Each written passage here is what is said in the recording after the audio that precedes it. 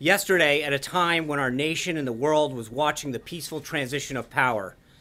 And as the president said, the transition in the balance of power from Washington to the citizens of the United States, member, some members of the media were engaged in deliberately false reporting.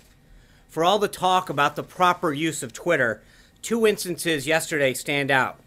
One was a particularly egregious example in which a reporter falsely tweeted out that the bust of Martin Luther King Jr. had been removed from the Oval Office.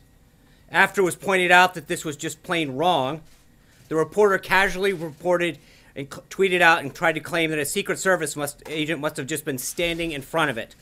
This was irresponsible and reckless. Secondly, photographs of the inaugural proceedings were intentionally framed in a way in one particular tweet to minimize the enormous support that had gathered on the National Mall. This was the first time in our nation's history that floor coverings have been used to protect the grass in the mall. That had the effect of highlighting any areas where people were not standing, while in years past, the grass eliminated this visual. This was also the first time that fencing and magnetometers went as far back on the wall, preventing hundreds of thousands of people from being able to access the mall as quickly as they had in inaugurations past. Inaccurate numbers involving crowd size were also tweeted, no one had numbers because the National Park Service, which controls the National Mall, does not put any out. By the way, this applies to any attempts to try to count the number of protesters today in the same fashion.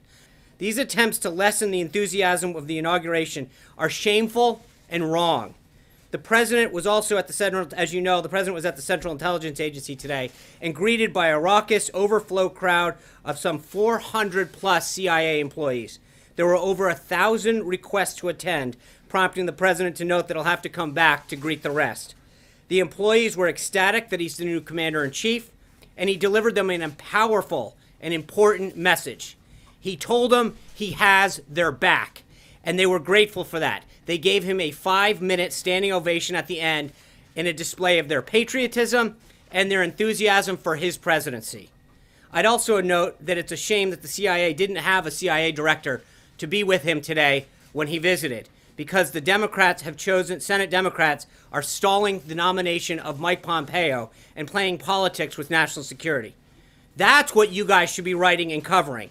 That this, instead of sowing division about tweets and, and false narratives, the president is committed to unifying our country, and that was the focus of his inaugural address. This kind of dishonesty in the media, the challenging that bringing about our nation together is making it more difficult. There's been a lot of talk in the media about the responsibility to hold Donald Trump accountable. And I'm here to tell you that it goes two ways. We're going to hold the press accountable as well. The American people deserve and as long uh, deserve better and as long as he serves as the messenger for this incredible movement, he will take his message directly to the American people where his focus will always be. Thank you guys for being here tonight. I will see you on Monday.